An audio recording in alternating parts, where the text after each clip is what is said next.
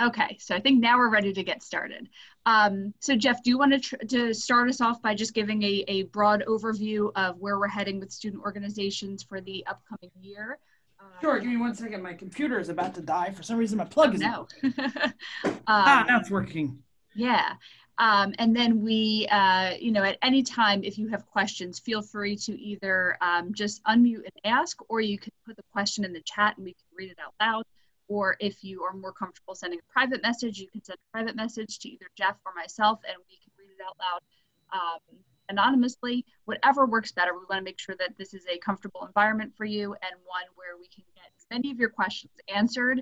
Um, with that said, we don't have all the answers, but we will try our best to find them um, and get some of these things ironed out. So, looking forward to a good discussion this morning. Yeah, uh, Lauren, what do you think's best? Just talk about the broad strokes, or like go right to the document? Go ahead and go to the document. I think that might be a good idea. So uh, while we've been trying to figure out exactly what is happening here, we've drafted a, a multi-page document here. I mean, uh, can everybody see it? Yes. So uh, let admit here a couple times. Uh, I, I can go ahead and take care of that, Jeff. Oh, you got it? Okay, good. Yep. Um, so we, we've prepared a multi-page document here, which is going to basically serve as the, the general understandings and the every piece of information we know about what's going to happen in the fall is going to basically go into this document. Um, but generally, you know, like we know, we're opening. um, we plan on having mixed methods. We plan on having events. We plan on having in person and hybrid events. Uh, and we plan on adhering to all the mandates from every local, state, and national health official required for events. So, if when the governor yesterday says that indoor events are now limited to 25, that means all of our events are limited to 25 if they're indoors. Uh, what this also means is this document isn't going to tell you what the capacities are or what the rules are because the rules are constantly changing. Um, so, you know, generally we know, and this is not new, that all the registered student organizations are allowed to hold events on campus. And as long as campus is open, we're going to continue to hold events. Um, but best practice in this time is going to be to try and move as many things online and as hybrid as can be. And what does hybrid mean for an event? It means that maybe some people are in the room and some people are watching on Zoom. Uh, means maybe there's uh, a limited number of tickets and those tickets are given out you know prior to the event. So that way if i live in atlantic city in the residence halls and i know the event is sold out before the event happens i can stay in my room and watch on zoom. So um, if i just slide down this here and i'll highlight basically we are expecting to hold small in-person events um, since many of the spaces are going to be used for classrooms uh, you know including like the event room the board of trustee room and all those things. There's going to be tables and chairs like desks and chairs. And because it needs to be a classroom at 8 a.m the next morning we're probably not going to be able to move a lot of the furniture. So um, the social the excuse me physical distancing setups that are set up in most of the rooms are probably going to stay in those rooms. Um, that definitely restricts the kind of events that we're going to be able to do. Um, but as i slide on down here you can see on letter e you know if you are funded from the activities fee we want to make sure that um, everything is still eligible. We're we're giving out tickets in a fair manner. We're if there's a prize, the prize can be won by the people watching on Zoom. Um, you know, if, if we're spending the money, it's getting distributed equally. Um, yeah, if I keep sliding down, uh, you know, we are going to be pushing for a lot of outdoor events. Obviously, we know the capacities for outdoor events are a lot higher, so we'll be able to get more people in them. Um, is it going to get cold? Yeah. Is it going to get rainy? Yeah, we're going to deal with it. Um, let's see here. I'm going to keep sliding down. Food, food and events. Um, right now, we're not allowed in the state of New Jersey to eat in groups indoors, and that's what we're going to do. So, um, you know, if, if you do have food, it's going to be an outdoor event. Uh, we would prefer that if there's any food, it's prepackaged so people can take it with them, um, especially because, you know, if uh, SET is doing a, cake, a, a, a cupcake decorating and they want to do it for 100 people, only 20 might be in the room and 80 of them might pick up their cupcake and do it at home. So, you know, that's the kind of grab and go thing that we're looking for. Um, trips, we're currently, you know, dealing with the university's rules on trips and things, but we expect that, you know, small trips will be able to happen, um, especially things that are going to an outdoor place.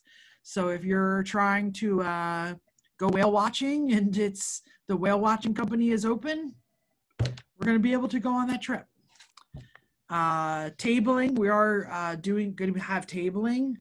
Tabling is going to be mostly outdoors because the indoor spaces are kind of small, and you know to make sure that everyone can pass on both sides of the hallway and not get too close to people, we can't you know shrink that hallway in with tables. So most of our tabling is going to be done outside, and um, I think we do have maybe some room for some limited indoor tables uh, over by the library, but we're still working on that.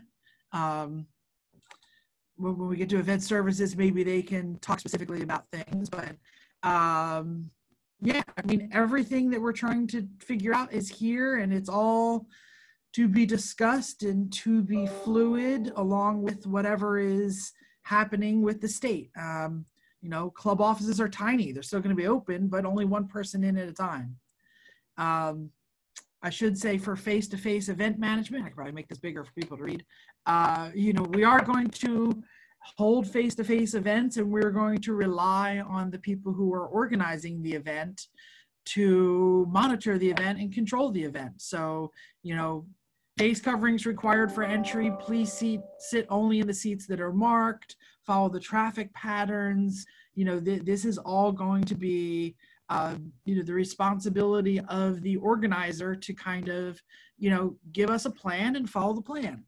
Um, you know if, if a guest is non-compliant if somebody is not wearing a mask we're going to have masks available. If we're going to have hand sanitizer available we're going to clean the rooms we're going to do everything that we can to make sure that the uh, oh craig is calling me uh, i'll call him right back uh, we're going to make sure that we don't get into confrontational situations. Um, you know, we're not going to say, you know, put on your mask.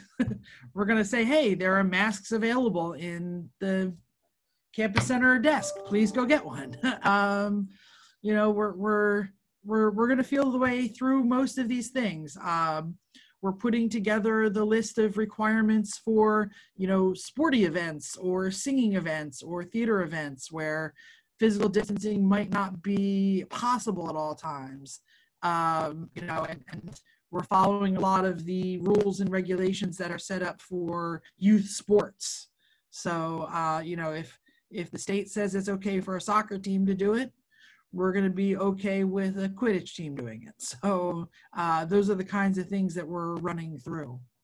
Uh, this document is long. I think it's like six, seven pages. It links to a bunch of things, including the Department of Health guidelines, um, Stockton University. We're going to get as much information out as we can. Uh, we're trying to figure out kind of new information as it shows up. Uh, as of, you know, 48 hours ago, we were looking at drastically different um, capacities in a lot of the rooms than we are now. So I, I guess it's uh, stay tuned and ask your questions. And we're always willing to talk about uh, a plan and make a plan for any kind of event.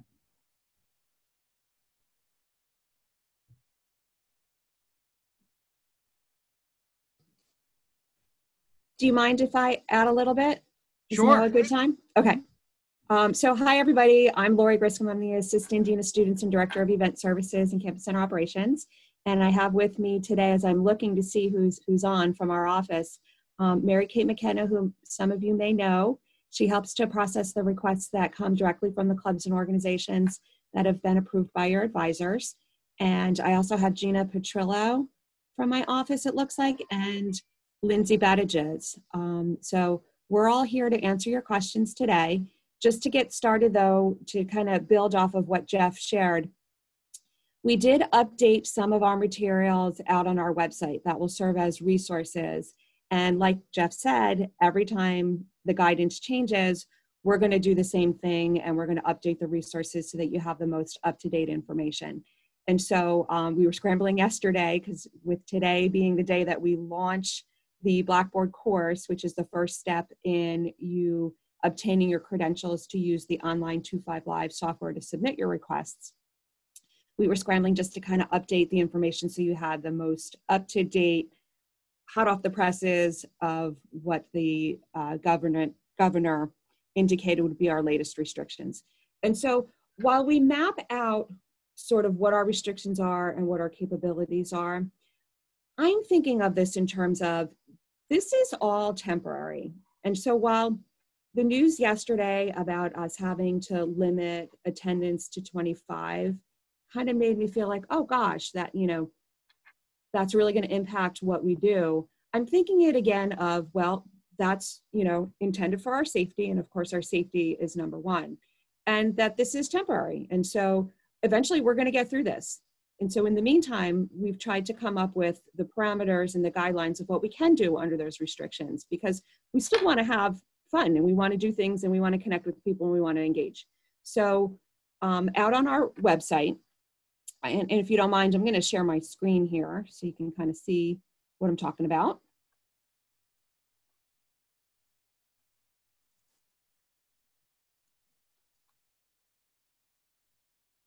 You may recall that we pull all of our events from 25 Live to display on the What's Happening calendar. So you'll notice that there's just some general tips about how the institution's handling events. And what we've done is we've now merged in the in-person bookings as well as anything that was communicated to us in an online virtual format. So we're displaying both now. And if somebody just wanted to see the online virtual, there's an opportunity here to toggle through and um, sort the types of events. And so what we're stressing here is that we want to populate the calendar with both the in-person and the virtual events because this is another source that the institution and the community uses to find out what's going on. And so if you click on the learn more button, this is really where all of your resources can be found regarding what we're doing. So we've got, again, some general tips here. We've had a couple of emails recently where folks were asking about what are the modified capacities in the classrooms that we can work through. So this link here will open up an Excel document which will show you the commonly used spaces, the original capacities, and then what the modified capacities are based on six foot spacing for each participant. So you've got a, just a, a quick resource here in this link. This box here speaks to what you need to do in order to activate your account into Five Live to submit your request. So we've got the three steps here, with the first being make sure you're on a roster in Osprey Hub.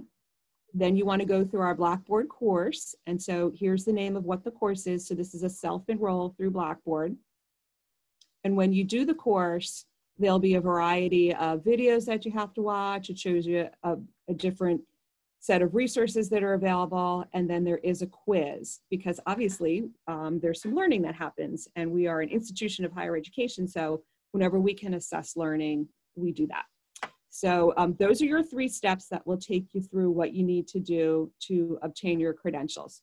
Once you pass your quiz, it will take um, a day or two, and it, it may not even take that long because we're all kind of here working now, to switch your account from read only to the access that allows you to submit a request.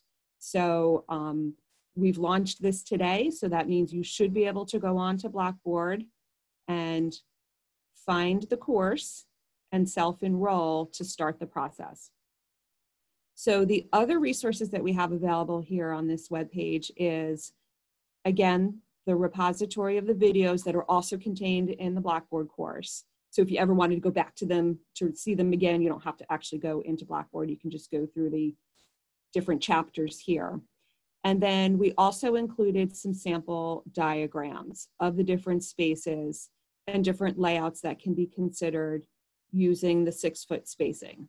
So at this point, when you go through and you click on a space, so for instance, when I click, it's gonna um, take a second because it's actually bringing me in to 25 Live Pro, which is the tool that we use. And it's gonna open up the space and it's gonna show you details about the space. So it does take a second here. So don't be alarmed by that. Um, what, you what you wanna focus on are setups that have a naming convention that starts with six foot spacing. And so if you click on a space, you'll see a sample diagram. And again, there's a tutorial video on this, so I'm just going to quickly just show you that you've got a repository of diagrams to look at. We are going to alter some of these samples now that we are in the restricted 25, up to 25 individuals in a room restriction. We're going to make some samples. So that was, you know, brand new to us. So there'll be some samples here. And when you're in 25 Live, you'll actually get to select and say, oh, well, I want the six foot spacing classroom style for up to 25. Um, but that's kind of where you can kind of see the different samples. You'll notice if you look down the menu, these are our standard setups that we use when we're, we don't have this six foot radius restriction. So we just kind of want to focus on the six foot spacing. But again, all that's contained in your Blackboard course. And then, of course, just other tips are available on our website as well. So we're really trying to make this the one page that you can go to for all the resources that are needed related to requesting space and resources for your events. And then when you have your access and you're ready, you simply just click the button. So I guess if I could leave you with one message, it is that we still want you to dream into how you're going to contribute to an active campus life here on campus. We want you to have those conversations with your advisors. We want you to have those conversations with us. We want to see things happen and we want to just design it in a way that it's the safest way possible. And so um, we're still hoping to hear from you and we're still hoping that you're going to contribute to all those opportunities here at Stockton. And again, it's only temporary. This is temporary. Okay, that's what I wanted to say. Does anybody have any questions for me? Yeah, Lori, I just want to say that, like, not only is this temporary, but it's also just good practice in general. You know, if, if you're holding an on, if, if, you know, if Senate is holding a meeting, there really shouldn't be a reason for someone from Atlantic City to have to ride the bus to come in to see the meeting. You know, we, we should be working virtually and having good things for all our events. And if we're holding a virtual event, it should appear on the calendar anyway, because you want to market it in every way possible. So, um, you know, some of this may seem like it's extra steps, and it absolutely is extra steps, but even without the global pandemic, some of this is good practice. Um, I was just looking at some of the, the questions that were posted here. Um, there was a question about whether or not all members of the e-board should uh, go through the Blackboard process. So my answer would be, whoever you think is going to be representative um, of your organization to submit requests, then really that's the person who probably wants to go through the process. Um, it's helpful to have backup people so that you're not just limited to one person who has access and credentials to submit requests. Um, I want to give Mary Kate the opportunity also to maybe answer that question or add to anything that I had mentioned since she works so closely with the clubs and orgs and the requests that come through. So something I'm noticing as I'm going through this uh, Blackboard piece online is I'm not seeing any place to sign up for the outside venues. Uh, is there a restriction on members outside, and is there a way to sign up for outside venues with large advance notice, such as uh, multiple months out? Okay, so help me to understand. What do you mean by large outdoor venues? Do you mean like the TRLC quad? Are you talking about spaces? Uh, like the fields themselves. Um, Okay. If we wanted to host, let's say, events in the excess of 80 to 100 people. Um, Yes. So the restriction right now has us at 500 outdoors. So something that you just described would be something that we could pursue. And so you would, through 25 Live, still submit your request, even if it's for an outdoor space. And so there's a, a search tool feature in the tool once you have access where you can um, type in the word field, for instance, and anything that's available will pop up and you can select it but you're not limited. Like if you don't see the space that you're looking for, there is a, a, comment field box where you can just type in and say, oh, I was trying to look for an open field. Can you just find me one? And we'll process your request that way. And we'll work with you that way. So the answer to your question is yes, we want to take your outdoor requests as well. We want to track how space is used and help get those supports, supports to those spaces and then also have the opportunity to display that event out on the web calendar as well. That and you added a lot of the mm-hmm. name the locations that weren't in the past in the system so that people can find them. So when when you get to the actual re- reservation system, you might be surprised at how many outdoor spaces are really listed. Someday we'll have every nook and cranny named, right, Lori?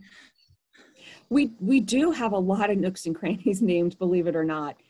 Um, and again, if you don't know how we named it in order to search for it, there is a field where you can just describe the space that you're talking about, and the scheduler will assign it appropriately. So don't let that stop you from communicating your needs and us trying to work through it. All right, thank you. It's an excellent answer. Uh, quick follow up though. Um, in the past, we've able to, we've been able to sign up for events as far as a year in advance. Um, if we're looking at event capacities in spring for potentially large indoor events, are we able to begin signing up for those now, or because of the restrictions, are we not able to sign up for large indoor events in the future yet? So I do feel like we need to be planning for the future. So my inclination would be to go ahead and put your request in. We may not be able to process it in full if we don't have all the information. So we may just kind of have it in queue for when we're ready to process it. But I would say to dream into it and if you think you want to move forward to it with it, to go ahead and, and put the request in. So what we did experience as a lot of the course modalities changed and our classroom capacities were restricted, some of the face-to-face meetings that would have happened in classes are getting shifted into some of our larger event spaces. So we're working with the registrar to see where we need to place those classes into event spaces. And then as classrooms do free up, as modalities continue to change, we're going to try to move those events back into classrooms. So I guess what I'm trying to say here is that situation again remains very fluid. And since the academic mission of the university is priority number one, we want to make sure we have a space for all those classes that need to meet face to face. And so then we will backfill in the events. So it is a giant puzzle piece. It is a supersized puzzle piece at the moment since everything keeps changing. But um, again, I would say don't let that stop you from telling us what you want to do so that we can try to puzzle piece it all together. We'd rather you tell us what you're trying and let us work on coming up with some options than for you to just say, oh, I'm not going to bother. Like, please don't take that attitude. Let us know what you want to do and let us see if we can figure out a way. And that's Thank- not thank you. actually that different than in past years where we would have to not do reservations in classrooms until the classes were set. But people would request them and they would kind of sit in in your queue waiting to become confirmed until after the academic schedule was set. The only difference is, is that the academic schedule is bleeding into rooms that used to only be event spaces. So the, the situation has changed, but the policy is pretty similar. But I want to stress that this week it's bleeding into event spaces. But since the, the placement of courses, like every minute is changing, again, we're going to try to free up those event spaces and push those classes back into classrooms as those spaces free up. So I see a few questions coming through on the chat um, and just wanted to kind of read them out loud so that this way anybody who is watching this later as we're recording it um, can also hear and see those questions. Um, so one of the first questions that we got was um, if the governor updates room capacities again, will it also get updated at Stockton? Um, so yes, absolutely. Uh, that is something that, as Lori mentioned, um, we're going to constantly be changing. So we're going to be on our toes this semester like like no semester before. Um, so yeah, so right now the guidelines um, have been reduced. The capacity has been reduced to 25 people maximum. But in a few weeks, that could change. It could go down to 10. It could go up to 50. We're not sure. But as that guidance changes at the state level, we absolutely will be um, updating our guidance and room capacities as well, so that this way you can continue to, to plan accordingly. Um, another question that we got was is the Blackboard training the same one as last year? So a lot of the guidance and instructions are the same, but it has been updated with some new features that 25 Live now offers that have that weren't there in the past. Um, and also um, includes some training and tips for event planning during this um, COVID-19 pandemic. Uh, so definitely, you know, don't assume that it's going to be the same questions as last year because we have updated it uh, with a lot of new information and resources there was one other question. Some slides may look familiar, but I did wind up making changes and I had to re-record. Yeah, absolutely. So especially for people who did it last year, I mean, the process of requesting a space is very similar to last year, but there was also some new tips and resources in there as well. So, um, so yeah, so it's a little bit different, but some parts might look similar. Uh, the last question, and Lori, maybe you can help to answer this. Uh, are basketball court floor spaces in Big Blue or iWing Gym available for reservations for the fall? That's a good question. And actually, in the PowerPoint in the Blackboard course, I just very quickly make reference to that there may be restrictions.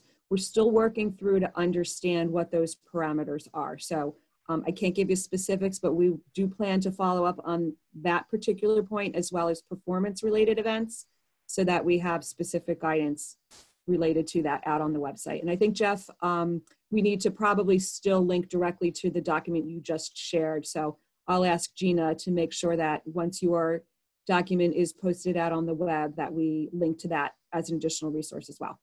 Yeah, and we hope to get that posted on our page and get it sent out through Osprey Hub, uh, hopefully in a day or two. There's a, a few question marks we still have at the bottom. Uh, we're still trying to figure out how to do collections on campus. Um, so we're talking that through. And I think one quick legal review on my athletics things, and then it should be ready to publish. I didn't know if Mary Kate wanted to add anything or just say hello. Yeah, um, miss all the student clubs and orgs and all the activity.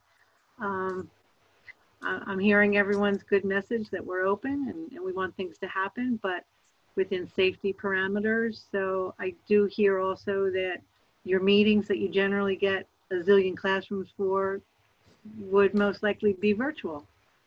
Because once again, you'll have commuters as members um, that may not be able to get to campus and so on. So just to make your programs vibrant and inclusive as best you can, um, and if that is virtual in the beginning, um, I know you'll do a great job. So I'm here to help you. And if you have any questions, just let me know. But we look forward to the return of campus. And so again, we want you to actually request those online virtual events through 25 Live, and you just choose the space as online virtual. And then that will help us to display your event and advertise it out on the web calendar as well on that what's happening calendar. So we want to know what you're doing. Yeah, and uh, I know Mary Kate mentioned it, but I want to I would just be clear that you know the default mode for everybody's meeting should be virtual. Um, you know, we we have limited spaces, uh, we're, we have limited size in every room. You know, you should be expecting more than 25 people at most meetings so you know just just do all the meetings virtual at the moment and you know we'll see how things change but again if I'm a Manahawkin student or if I've decided to stay home in my in my home in North Jersey because all of my classes are online, we want to offer a virtual experience for them to still be a member of your club. So meetings virtually should be the the the, the easiest no-brainer decision to make. Even if we're all back on campus and you know that your 10 members are on campus, if someone's not feeling well, you want them to stay in their room. So have that meeting virtually. Thanks, Jeff. Lauren, do we want to talk about uh, Get Involved Fair or any of the big events that we know a little bit more about now than we did last time we, we met? Oh, you're muted. You're muted. Sorry about that. Um, hang on one second, we actually just got another question. Um, what should we do for club meetings that act as safe spaces? So for a lot of like our, our cultural um, organizations, Pride Alliance, religious organizations, um, you know, normally they, they meet in person. Um, so we could talk a lot about security at the different meetings for the virtual for the virtual meetings, but um, if, if anything, uh, the anonymity that is available in a virtual meeting is probably even better than an in-person meeting. Um, obviously, things like passwords and uh, all kinds of things like that are going to help. Uh, but also having someone who can control the meeting and kick someone out if they're inappropriate. Um, but obviously, you can be at a meeting with your camera off. You can uh, change your name on your Zoom name uh, pretty easily. Let's see here. Everybody knows. I usually do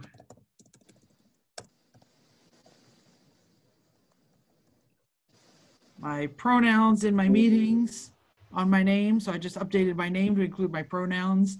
Um, but that's something that you could all do. Trust me, I do a, a, a Boy Scout meetings via Zoom, and uh, the 12 year olds love to change their names to, you know, pepperoni dog fart or whatever it is that they're working on.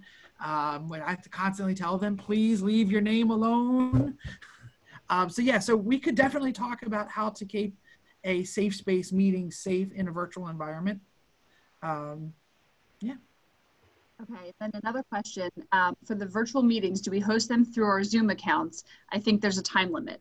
So um, I know that the university is working on this and trying to upgrade student, um, student Zoom accounts uh, so that their time limits are expanded.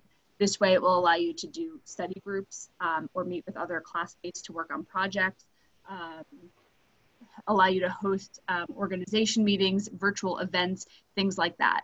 So uh, we do anticipate that access level changing um, for September when you all return.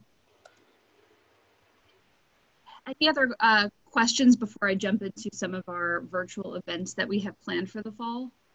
Uh, hi, yes, I'm back with another one. Um, so my, um, I'm here representing Stockton Esports, and uh, we have a recurring event that we've been running on Tuesday nights for the past couple months during the summer. Uh, that is an online event. Uh, we run Tuesday game nights. I was wondering if there's a way for us to set up a recurring, repeatable event on 25 Live with a hosted link to our offsite silo server where we host the events. Is that something we can do? Yes, and I see Lori nodding her head too, so I'll let her chime in. Um, so I see Demetrius is on the line here, but in 25 Live, we do have the capability for you to put a description out on the web describing what it is, and we can drop in a hyperlink if it does need to take you somewhere else. So I just have Demetrius, um, I didn't know if he wanted to add to that, but the software allows us to do that. And uh, the Osprey Hub software allows that also. And I want to mention that because uh, we definitely talked about security at meetings, uh, just like we did for this meeting, the um, the meeting link was actually inside the event, and the event was set to Stockton only. So it added an extra layer of security because you had to be logged into Osprey Hub through your normal Stockton credentials to get access to this link today. So we did that because we don't want to be Zoom bombed. Um, but you could obviously do that with any kind of um, any kind of event that you wanted to do that you wanted to keep more private.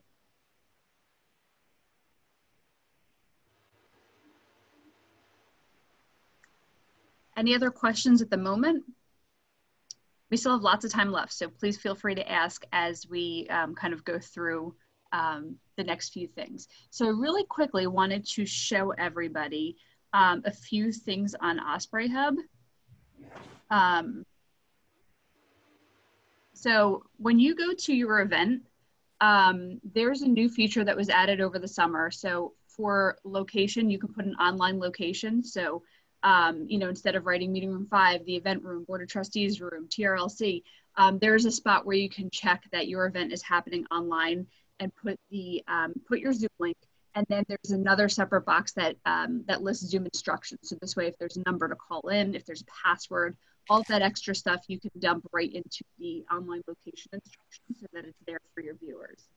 Um, the other thing is that there is a link that that's appearing um, to, to manage your virtual attendance. So if you are offering, let's say, prizes for um, you know, five random people who are who attend your event will be um, will be drawn for a prize. Um, you definitely should be utilizing this. I'm going to dump this link into the chat. Hang on one second. Um, oops, sorry. It's like when I share screen, everything kind of looks a little different. All right, well, that's that's the big thing that I wanted to show you. So what I'm gonna do is put this that link for attendance in the chat. If all of you can just go and click that, this way you'll automatically be marked as attended, as having attended uh, the Student Leader Roundtable today.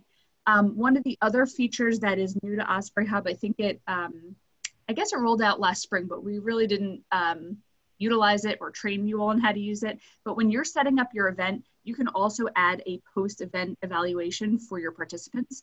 So once you click this link and you have everybody uh, marked as attended, as soon as this event is done, you'll automatically get an email asking you to complete the few questions that we have designed for this, um, for this event.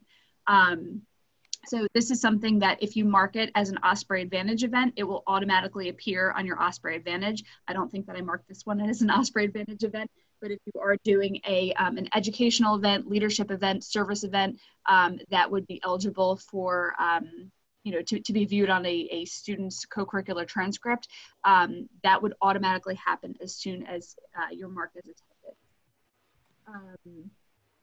Is there a limit to how many events we can push to 25 live per week? Um, and or if we are spamming too many events, is that an issue or can people block us? Um, no limit in 25 live. We want to see everything. Um, was there was there more to that question, Jacob? I mean, you should be advertising events that your club is sponsoring. So you shouldn't be pushing like outside organizations events unless you are truly a co-sponsor of it if that makes sense. I do want to say that there is a limit for the clubs and organizations who are um, putting things into Osprey Hub. Is we prefer that you don't put your weekly meetings into Osprey Hub uh, because the calendar uh, should only be showing the events that are public. So you know if it's like first meeting opening blah blah blah, yeah, absolutely put that into Osprey Hub. Um, but 25 Live is the place where all of the meetings should be and then events that are public should be both in Osprey Hub and 25 Live. Well, just to clarify, you can put your meetings into Osprey Hub, but when you send the, um, uh, when you set your audience settings, make sure that it's only visible to club and organization members. So this way, when you log in and you're a member of the psychology club, you'll see that you have a meeting and you'll get that link to your meeting for that night. But if I'm just an average student kind of looking for something to do, um, when I log in the Osprey Hub, the first few events that appear on my feed are all truly events rather than psychology club meeting, um, photography club meeting, Stockton Music Union meeting, set meeting, um, and things like that, because we really want um, all events to be visible to all Stockton students um, so that they can see what's going on. But in terms of the meetings, you still can put them in Osprey Hub, but just make sure that, that it's set in a way that, that it's only visible to your club members. Does that make sense? Yeah, no, that totally makes sense. And Jacob actually was asking about that because it looks like he has five or six events per week, but they are for members only.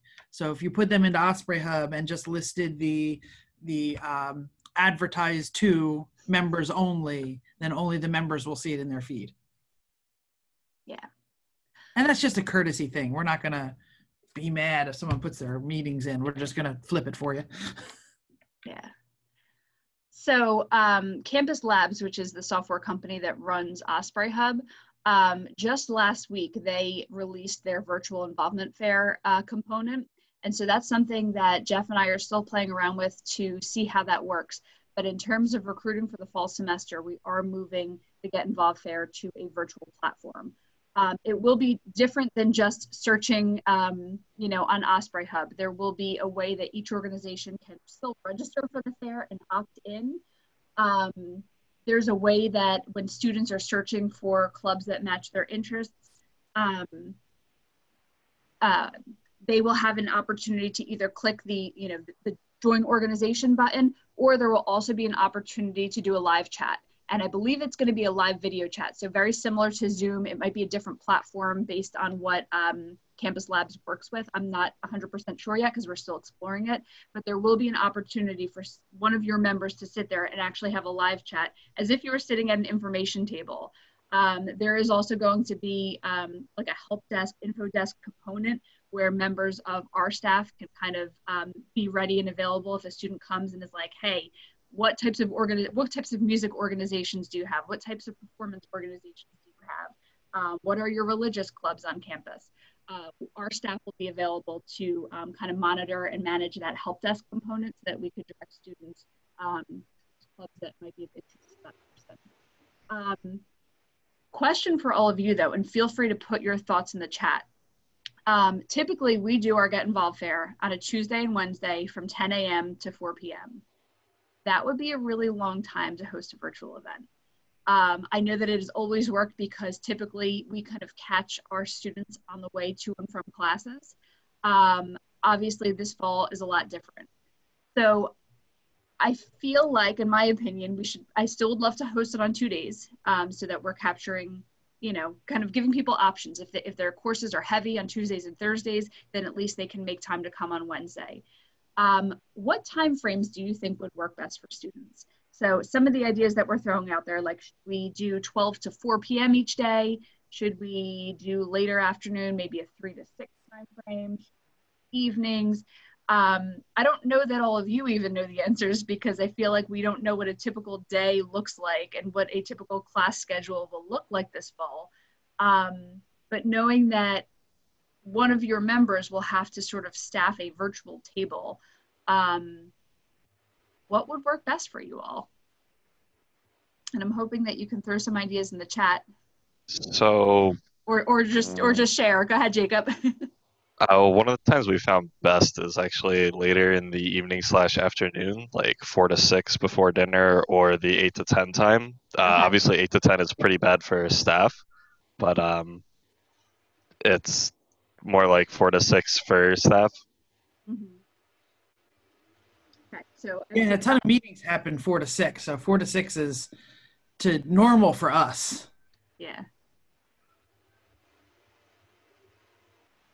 All right, so it seems like there's a lot of different um, opinions. Evenings, nothing too early. Um, 10 to 10 to 4 time frame works uh, because if someone works afternoons, they can still pop in in the morning. Um, evenings are a little better to allow for everyone to get out of classes. Um, so it seems like there's lots of, of mixed feedback. Um, I think the 10 to 4 time frame might be a little bit long to have six hours available for both days, just since it is on, on I don't want to keep saying Zoom, but it's going to be on some kind of online uh, platform that uh, members of clubs will have to manage. Um, so we are looking to ask how many hours do we do we think we would prefer? Because uh, we were trying to bounce. We we think between like three or four might be the sweet spot of being able to hit kind of that multiple time frames, but also not be so long that you know someone is chained to their desk staring at a screen. So there's a suggestion maybe do some blocks. So maybe 10 to 12 and then a break and then resume from 4 to 6. Or if one day it's early and another day it's in the evening Um,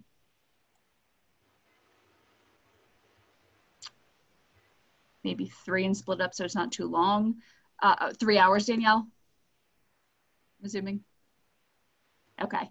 Um, yeah, and I mean another thing we could do is like we we could add a third day. Like if smaller chunks of time, like if the two to three hour block is what might work best for your members to staff the virtual table. We could even do like Tuesday, Wednesday, Thursday. We can make it involvement week rather than the involvement fair and maybe even do like two hours every day. Um, let's see what else. Time frame, uh, so it's not too long for everyone. Um, more time frame is also a good option. It gives our uh, members an opportunity to help out and gives everyone a chance to stop by. I like the block idea as well. Um, it's going to be impossible to maintain people's attention for three hours. Feels more like a rotation of virtual tables um, across mul multiple days would be best. Um, having it really spread out. I like the involvement week idea, much more flexible. Um, okay. Um, well, it sounds like smaller chunks, whether it's like a few different chunks a day or chunks spread out over the course of the week, um, might might work best. So we'll kind of play around with those ideas. But if you have any other suggestions or thoughts, please email us because trust me when I say we want your feedback and really want your opinions on what will work best. Um, you know, there there are there are also options that we could host multiple fairs. So there is an option on there, like if we wanted to do like a community service fair or host Meet the Greeks or you know all these other things. But at the same time, we also want to make sure that um, it's clear for our students who are kind of tapping into this experience for the first time.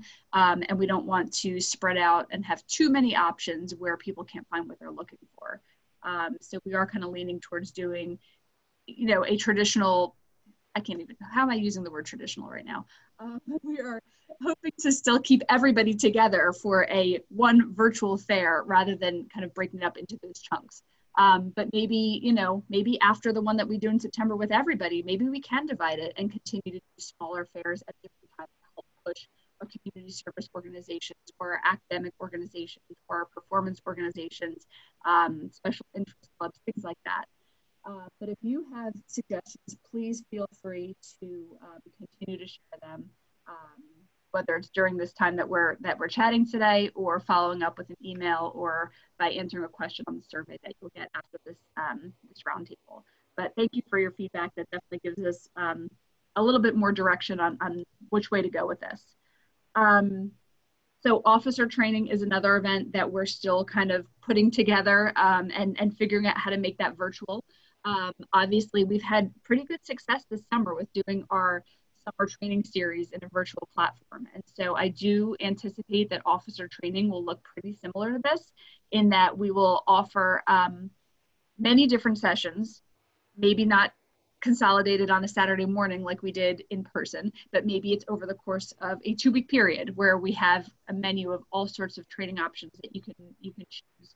Um, if you're not available to be there in person, not in person, if you're not able to tune in for the live event, uh, we will be recording everything and um, adding it to our YouTube channel. The link for our YouTube channel in the chat so that people can access that. Um, but we will be kind of keeping up with that throughout September. So this way, if you missed the, um, you know, virtual programming 101, you can go back to it. If you missed um, keeping your members motivated during a pandemic, you can go back and watch that um, at a later time. So those will always be available for you. Um, so that's how we anticipate our officer training to run this year. It's going to be a little bit more scattered throughout September instead of kind of consolidated on a um, on, on one Saturday in September. Um, the other thing that will be moving virtually, uh, mostly virtually, is University Weekend. Um, so that is going to be more of a university weekend to go this year um, and really trying to, I guess, honor the, the, the roots and the mission of University Weekend, which is really to celebrate Stockton and everything that we're about. I know that a lot of schools are uh, choosing to either cancel their homecoming and family weekend or move it to the spring. Um, but for us, like there's really no guarantee that spring will be different. Um, and so to try and postpone something to a time of year that's already so busy for our student organizations and for our office just seemed a little bit um, silly. Um, I think that especially right now, so many traditions are kind of being scrapped and thrown out the window that if we can at least try and honor this tradition in one way, um, we'll be happy to try and keep some things as normal as can be. So stay tuned. Usually, um, I, I, anticipate that in the next week or so, uh, we'll be sending out a survey to uh, student organizations, to faculty and staff for anybody who has a program to propose.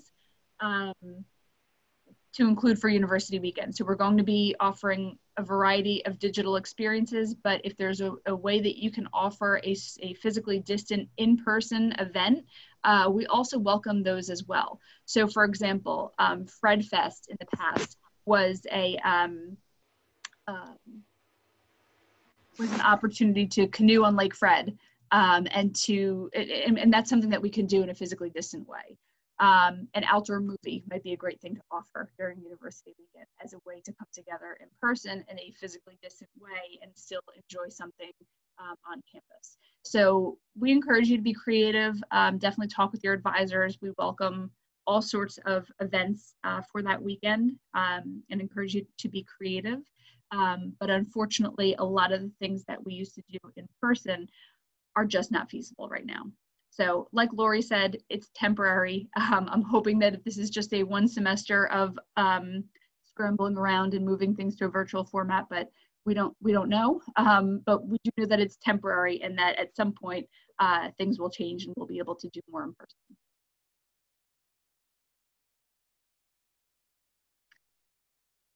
What other questions or concerns or ideas do you all have, um, whether it's for your own clubs or for events in general?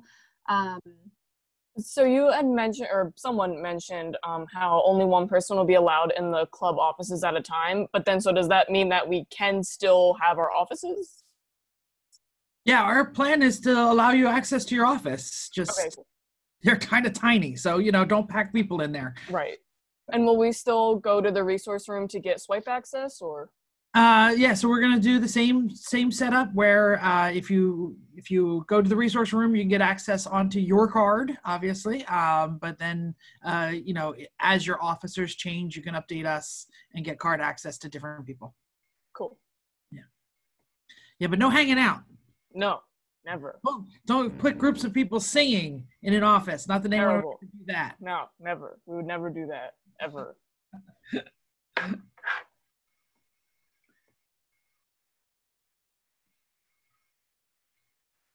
Any other questions, concerns, ideas, suggestions? I think one of the things that we're really trying to do here is, is to be as open as possible to any kind of suggestion or thoughts. Um, you know, we really, we're really breaking new ground and we, we say that kind of, you know, tongue in cheek because obviously you know what what's going on is new but it's not as not as new and as fun as as you students come up with every day. So you know uh, i was amazed at some of the great events that set did. I was amazed that uh, you know and they kind of felt around and and felt some good things to do. And you know i told lauren in the beginning of the summer we really should do a, a virtual leadership training over the summer. And we said, who would go to that? You know, we got 20 people here today. So, uh, you know, and I said, we should definitely put it on YouTube. Who the heck would subscribe to that? And, you know, one of our, one of our first things that we put up was Joe Thompson did a great discussion about allyship. Um, and, and he put it out to the Greek community and a lot of fraternity and sorority men and women from across the nation are watching it um, because he has friends in the community from all over. So, um, you know, someone from Texas, a student affairs person from Texas called me the other day to try and get some new ideas. And, you know, we're sharing across the state of New Jersey and we're stealing ideas from other colleges. So, you know, every idea is a good idea. Talk to us, we can figure it out as best we can. All right, so we have a few more questions in the chat. Uh, do you think university operations will be shut down or moved back to fully virtual like last spring semester, canceling all events? I know it's hard to say. I think you answered your own question, Danielle. It is hard to say, um, but like I said, we are going to be following the state guidelines. Uh, guidance, guidelines, guidance. There we go, both of them. Um, and so, if for some reason it does happen where the state decides that um, we need to shut down, then yes, everything will go back to fully virtual. Um, but that's not anything that we know or can predict right now. We're just kind of taking everything day by day and seeing how it develops. Um, what about volunteer events that are off campus, like beach cleanups? Um, I think Jeff kind of uh, shared this earlier, but um, if there are off campus events that can still be done in a physically safe way, um, we will be allowing them. So I imagine that a beach cleanup should be allowed. Anything more to add to that one, Jeff? Uh, yeah, we're also currently watching very closely the transportation rules. Um, as you know, there isn't just guidance for how many people can be in a room, but there's guidance for how many people can be on a bus. um, so that is going to have to remain flexible about how we get to and from events. Um, you know, personal uh, transportation is always a possibility as long as it's done kind of in a socially distant, safe manner. So, yeah, we expect off campus to be pretty popular. Will budget will budgets be smaller for clubs as well, or will they stay the same? Yeah, so the budgets that Senate set are actually 100% set. Um, so they were not changed, they were not altered in any way, shape, or form. Uh, so whatever the Senate gave you, Senate got the same amount of money from the university and gave out the same amount of money to all the different clubs. Um, Matt, I don't know what club you're in, so I can't look it up, but uh, the uh, actually, I think the Senate page. I'm having trouble. I'm working on the Senate page, everyone, and I'm terrible at web design, so I can't get it to fully function. Uh, um, but the the budget should be public on the Senate page by the end of the week. Uh, but just email us and we'll tell you. And supplementals, I see the question has come in. Will they be able to request supplementals? Absolutely. The supplemental budget is still fully intact and uh, Student Senate plans on hitting the ground running and hearing supplementals as early as the second meeting. Oh, I just thought of a question. So I know in the past that we technically weren't allowed to stream movies to our members unless they were like documentaries we got from the library. But is that like basically is Literature Club allowed to like watch a movie off of Netflix and make it an event? Like has is that rule loosened up a little bit with these circumstances?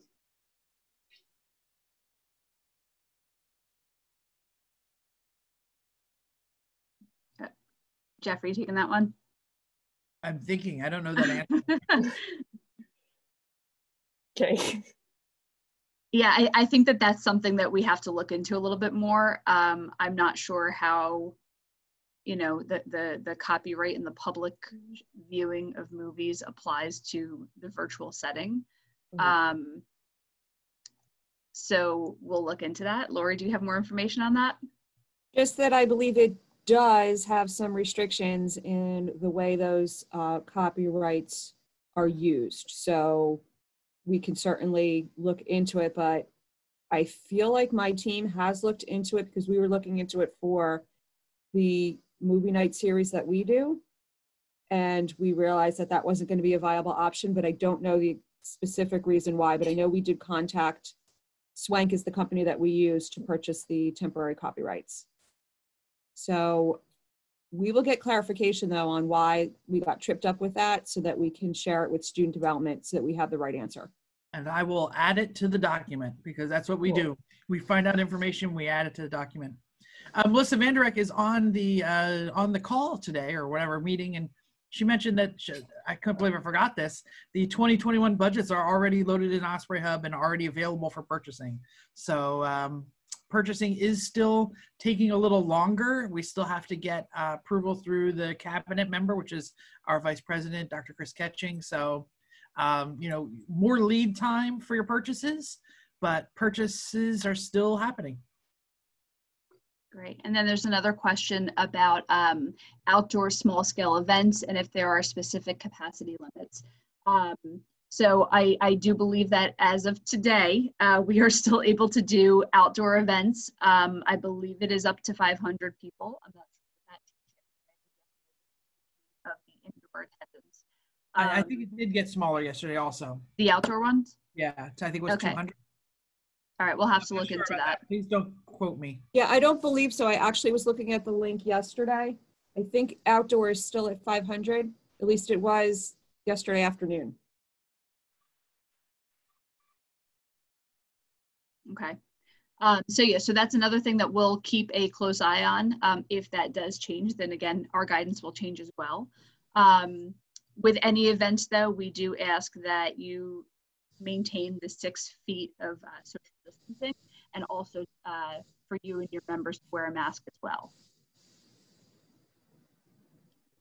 And uh, Diane Stalling is on, but she's on, uh, she's muted at the moment, but she's putting into the chat, just we'll get it so it's all recorded, that um, there are movie companies out there that, are- that, that may allow streaming. They all have different rules. Um, most Hollywood, you know, um, for-profit movies are held by that Swank company. So that when, a lot of times we talk about that one as a general, because, you know, nine times out of 10, that's who holds the copyright to the movies that people want to show. But Netflix has a totally different uh, understanding, and um, obviously there's a lot of small companies that hold films that don't have uh, wide commercial release that also could be talked to. I know the comedy club wanted to show the um, oh my gosh, what is that movie that that the disaster artist is about? The room. The Uh, Room. The Literature Room, Club tried to show that too. Yes. And uh, the only person who holds the license to the room is the guy that whatever his name is, and he won't reply to emails. We keep emailing him about showing, and he never gets. he did back. put the whole movie on YouTube though for free. Oh, If it's on YouTube, then it is available. So uh, as long as we Thanks, watch, Tommy. it, yeah, Tommy Wiseau, right? Yes, my Oh. hero. Yeah. So two or two or three years ago, we couldn't figure out how to get that shown on campus, uh, but now we can. Thank God. It's awesome, Gabby. I haven't seen it, so we'll have to. We'll Wow, do a watch great. party. Please. Me and Lauren had a whole conversation about it in her office once. yes, we did. Great film. So bad. Any other questions still floating around out there?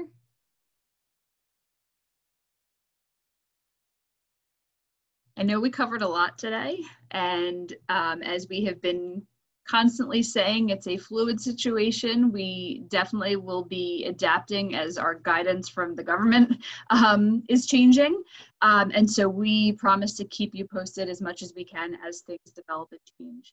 Um, we of course, are going to be continuing our summer training series. So next week, I believe um, we're doing a uh, session on running a digital, running an engaging digital meeting. Um, and so again, that's Tuesdays at 10 a.m. Um, after that, we're going to be doing an Osprey Hub 101 session for anyone who is new to kind of managing their organization's page and kind of getting some of the new tips, um, seeing some of the new features that have been released over the last um, you know, six to eight months, I would say, um, to, to really get a better understanding of how to maximize your organization's marketing tools this semester and just ways that you can continue to utilize Osprey Hub as we move um, so many of our um, organizations, so much of our organizations work to a digital platform. Um, the following week, week, which I believe leads us to August 25th, um, we're going to be doing a session to kind of showcase the virtual involvement fair um, and give you some tips on how to recruit members in a digital environment. Um, and then August 27th, which is a Thursday, we're going to be doing um, another event similar to this, but hopefully with more than 20 people um, for a um, like a student organization town hall. So this way, by that point, all of our guidance for September uh, should be finalized. Um, we should know kind of where we're at with everything, hopefully, ideally, um, and um, and allow any student organizations and student leaders a chance to um, ask whatever questions they have, get clarification on anything that still is kind of sitting in that gray area, um, and um, get ready to start the year. So thank you all again for tuning in today. I hope that this helped to give you a little bit more clarity on kind of where we're heading for the fall semester.